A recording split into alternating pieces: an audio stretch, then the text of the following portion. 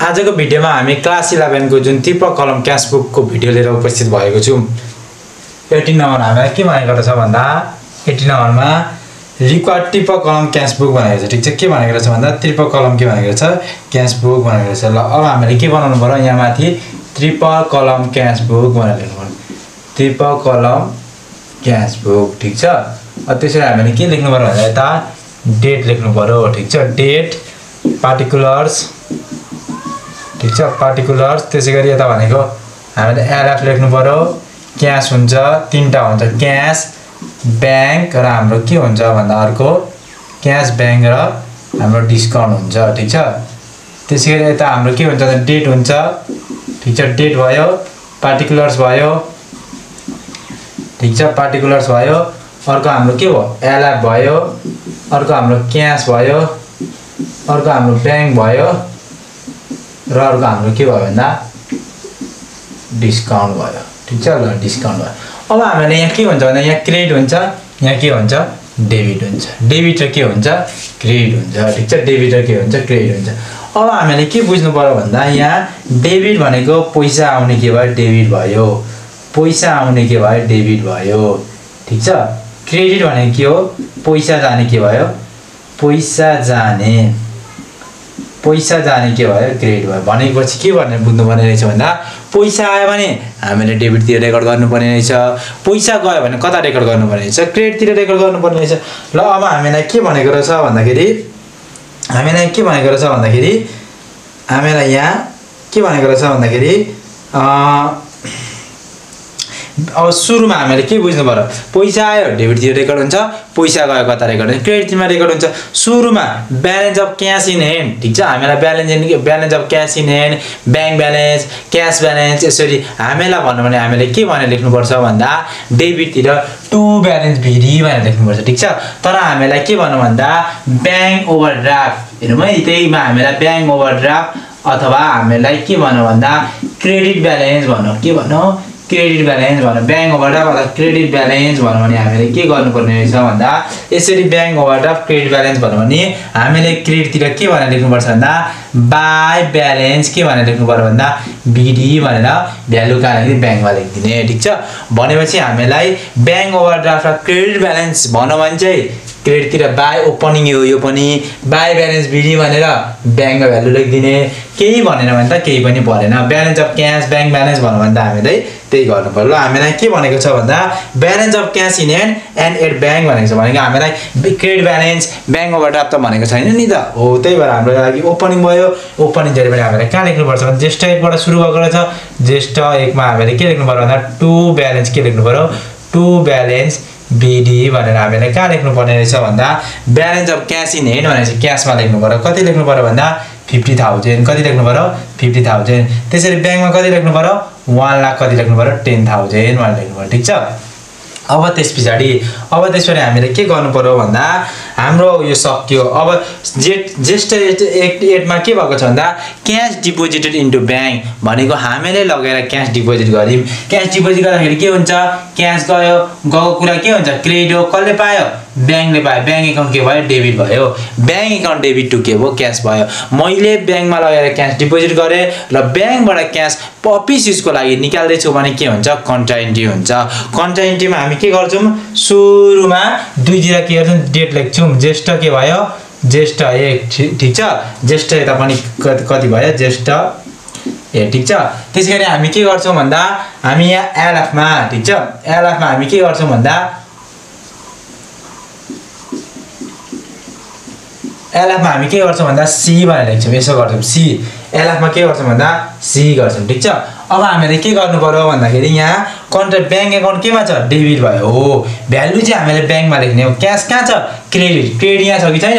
हो भ्यालु चाहिँ क्यासमा लेख्ने। भनेको एमाउन्ट सुरुमा हामीले के एमाउन्ट हाल्नु पऱ्यो क्यास डिपोजिट इन्टु ब्याङ्क भनेको चाहिँ ब्याङ्क केमा छ? डेबिटमा डेबिट कहाँ हो? यो ब्याङ्क कहाँ छ? यहाँ हो यहाँ भ्यालु कति छ भन्दा टेन थाउजन्ड यहाँ हाल्ने। टेन थाउजन्ड भने यहाँ ठिक छ? त्यसरी क्यास कहाँ छ?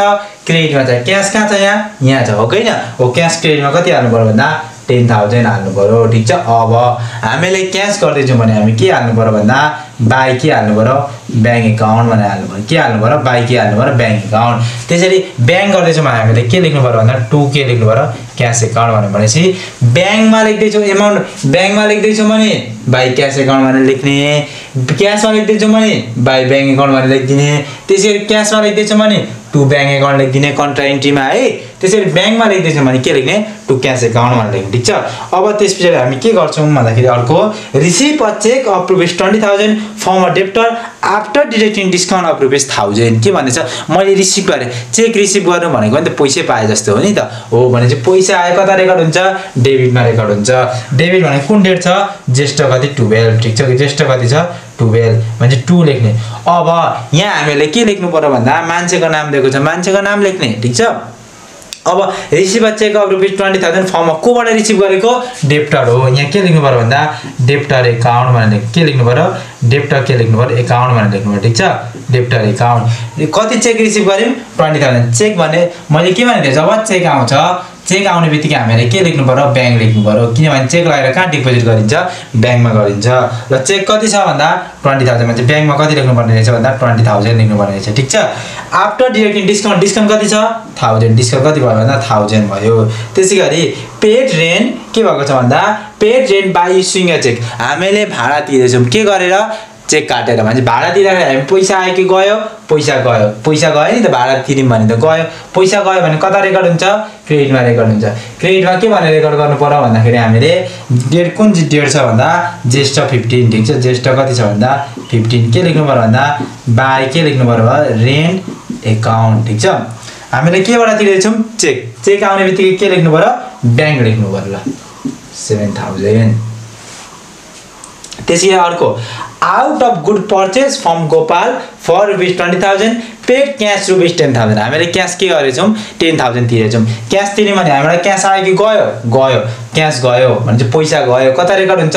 क्रेडिटमा ज्येष्ठ कति भयो भन्दा? ज्येष्ठ ज्येष्ठ कति भयो? ट्वेन्टी. भने बाइक के लेख्नु पऱ्यो भन्दा?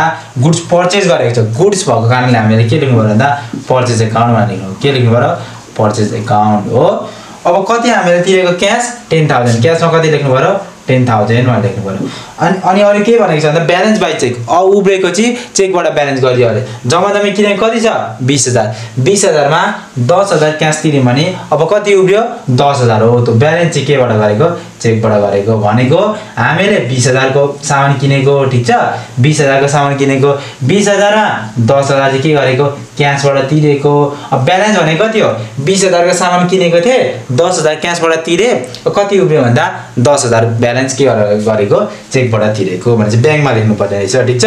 अब issued cheque rupees ninety thousand to a creditor after deducting five percent discount. Issued cheque भनेको चेक दिएको मैले भने दिए चेक दिनु भनेको त पैसा गए जस्तै हो नि त। पैसा गयो कता रेकर्ड हुन्छ क्रेडिटमा ज्येष्ठ कति लेख्नुपर्ने रहेछ भन्दा? ज्येष्ठ हामीले कति लेख्नु पऱ्यो भन्दा? ट्वेन्टी फाइभ लेख्नु पऱ्यो बाई कसलाई दिएको? By creditor account. ल। बाई के भयो? Creditor account. कति चेक भन्दाखेरि चेक आउने बित्तिकै ब्याङ्कमा कति लेख्नु पऱ्यो भन्दा? नाइन्टी थाउजन्ड लेख्नु पऱ्यो ठिक छ कति लेख्नु पऱ्यो नाइन्टी थाउजन्ड। अब हामीले के बुझ्नु पऱ्यो भन्दाखेरि यहाँ हामीले के बुझ्नु पऱ्यो भन्दा जुन आफ्टर डिडक्टिङ भन्दैछ नि हामीले के बुझ्नु पऱ्यो भन्दा पाँच पर्सेन्ट डिस्काउन्ट काटेर चाहिँ नाइन्टी थाउजन्डको चेक के गरेको इस्यु गरेको। अब जहिले पनि हामीले के आफ्टर डिडक्टिङ भन्दैछ भने एउटा पैसा थियो एउटा एमाउन्ट थियो त्यसमा के गर्दैछ भन्दा पाँच पर्सेन्ट काटेर कति तिर्दैछ? Ninety thousand तिर्दैछ। हो हामीले के गर्नु पऱ्यो डिस्काउन्ट चाहिँ त्यो अरिजिनल एमाउन्टमा निकाल्नु पऱ्यो क्या। अथवा हामीले कसरी पनि बुझ्दा हुन्छ भने आफ्टर डिडक्टिङ भयो भने हाम्रो डिस्काउन्ट निकाल्ने आफ्टर डिडक्टिङ भयो भने डिस्काउन्ट निकाल्ने फर्मुला के रहेछ भन्दा जुन यो एमाउन्ट छ नि यो एमाउन्ट नाइन्टी थाउजन्ड इन्टु के गर्नु पऱ्यो? पाँच पर्सेन्ट हन्ड्रेड हन्ड्रेड माइनस गर्नु पऱ्यो। अब केले माइनस हुन्छ भन्दाखेरि यहाँ हेरौँ त केले माइनस हुन्छ भन्दाखेरि यसो गर्नु पऱ्यो। अब डिस्काउन्ट सुरुको एमाउन्टको डिस्काउन्ट निकालेर के गर्नु पऱ्यो? Ninety thousand into five divide by ठिक छ? Into five divided hundred minus केले माइनस गर्यो। माथि कति छ? फाइभ माथि टेन भएको टेनले माइनस गर्यो। माथि फिफ्टिन भएको फिफ्टिनले माइनस कति छ माथि? फाइभ छ। फाइभले माइनस गर्नु भयो भनेको ninety thousand into five divided hundred minus five कति? नाइन्टी फाइभ थाउजन्ड भयो होइन? सरी नाइन्टी फाइभ भयो। अब हामीले के क्यालकुलेटर युज गर्नु पऱ्यो ठिक छ? अब के छ भन्दा? हामी five and five five and five six seven eight nine five nine forty five ninety ninety nine भने चाहिँ हामीसँग कति? हजार भयो। थाउजन्ड भयो भने चाहिँ डिस्काउन्ट कति रहेछ भन्दा? थाउजन्ड रहेछ। यसरी बुझ्नु पऱ्यो है। त चाहिँ जहिले पनि आफ्टर डिरेक्टिङ भन्दैछ भने एउटा पैसा थियो त्यसमा पाँच पर्सेन्ट काटेर कति तिरेको? उन्नाइस हजार के तिरेको? अथवा आफ्टर डिरेक्टिङ भन्दैछ भने हाम्रो डिस्काउन्ट निकाल्ने फर्मुला के रहेछ भन्दा जुन amount amount into five divide percent लाउन हन्ड्रेड माइनस माथि जति जति। अब ल डेबिट र क्रेडिट जोडौँ डेबिटमा कति आयो? Fifty thousand fifty thousand fifty thousand भयो। त्यसरी यता जोडौँ। One ten twenty twenty twenty one forty यता कति भयो? वान फोर्टी भयो। त्यसरी यहाँ कति भयो हाम्रो? ट्वेन्टी मात्रै भएछ भने चाहिँ यही ठुलो छ। यता पनि फिफ्टी हुनु पऱ्यो फिफ्टी थाउजन्ड हुनु पऱ्यो त्यसपछि यता कति भयो? Nineteen ten ten twenty nine twenty nine twenty nine twenty nine seven thirty six भयो। यता कति? वान फोर्टी छ। वान फोर्टी नै हुनु पऱ्यो त्यसरी यता कति हुनु पऱ्यो टे थाउजन्ड थाउजन्ड हुनु पऱ्यो ठिक छ? यसलाई पनि के गर्नु क्लोज गरौँ। थाउजन्ड थाउजन्डलाई पनि के गरौँ? क्लोज गरौँ। ल। अब यता पुगेन। यता थप्ने पैसालाई के भनेर थप्नुपर्छ? बाई ब्यालेन्स के गर्नु पऱ्यो बाई ब्यालेन्स सिडी भनेर थप्नु पऱ्यो ठिक छ? कति थप्नु पऱ्यो भन्दा? Ten ten twenty thirty fifty बनाउनलाई कति थप्नु पऱ्यो? थर्टी थप्नु पऱ्यो। थर्टी थप्नु पऱ्यो। हो नि? किनभने फिफ्टी बनाउनलाई टेन टेन ट्वेन्टी थाउजन्ड छँदैछ। कति थप्नु? थर्टी थाउजन्ड थप्नु त्यसरी वान फोर्टी वान फोर्टी बनाउनको लागि हामीलाई कति थप्नु पऱ्यो? सिडी कति हाल्नु पऱ्यो भन्दाखेरि? हामीसँग यहाँ कति छ? हामीसँग कति आएको छ भन्दाखेरि? हामीसँग यहाँ हामीसँग कति आएको छ भन्दा nineteen ten twenty nine nineteen ten twenty nine twenty nine seven thirty six twenty चाहिँ कति थप्नु पर्छ one zero four one two three हो? हो अब यो सिडी गरेपछि हामीले के गर्नु पऱ्यो भन्दाखेरि यसलाई अब हामीले सिडी गरेपछि के गर्नु बिडी गर्नु पऱ्यो बिडी गर्दा यता सिडी क्रेडतिर गर्दैछौँ बिडी गर्दा यता गर्नु पऱ्यो सिडी यता गर्दैछौँ बिडी गर्दा यता गर्नु पऱ्यो ल लेखौँ टु ब्यालेन्स के गर्नु पऱ्यो टु ब्यालेन्स बिडी गर्नु पऱ्यो ठिक छ कति गर्नु पऱ्यो कति सिडी कति गऱ्यौँ हामीले? थर्टी थाउजन्ड हो थर्टी थाउजन्ड अर्को हामीले कति गर्नु पऱ्यो? One zero four one two three एक लाख चार हजार हो। अब सहिले पनि सिडीसँग के आउँछ? लास्ट डेट आउँछ। ज्येष्ठ के आउँछ? ज्येष्ठ थर्टी वान आयो। ठिक छ ज्येष्ठ थर्टी वान आयो। त्यसै गरी हामीले के बुझ्नु पर्यो सिडीसँग लास्ट डेट आउँछ भने बिडीसँग के न्यू डेट आउँछ भनेको असार के भयो? असार वान भयो। ठिक छ? यो हामीले के बुझ्नु पऱ्यो? हस्त धन्यवाद। अर्को भिडियोमा म अब डिप्रिसिएसनको लेसन लिएर उपस्थित हुनेछु।